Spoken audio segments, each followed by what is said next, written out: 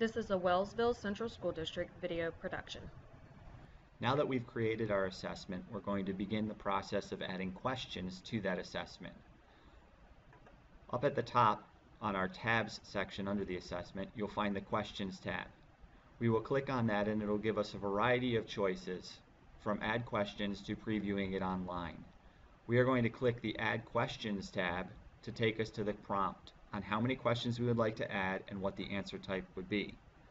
For our example, we have a four question multiple choice exam consisting of letters A, B, C, and D.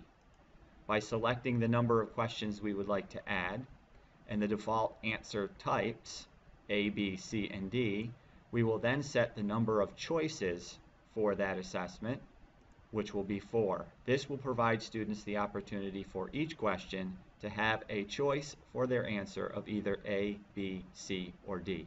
We're going to leave the points set up as 1, so this assessment will stand as a 4-point assessment.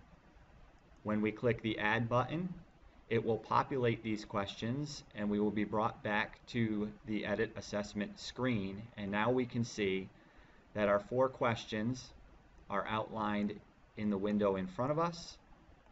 They are letters type A, B, C, and D. There are four possible answers and we can set the answer to the specific letter that we want. By looking at our mock test example, our first question is of the following animals which is the largest in nature?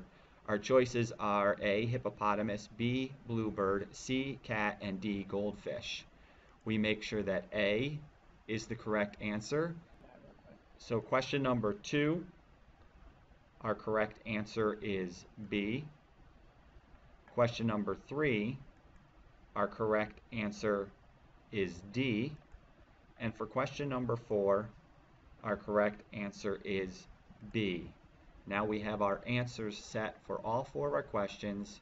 We return and click the Save button to record and save our updates.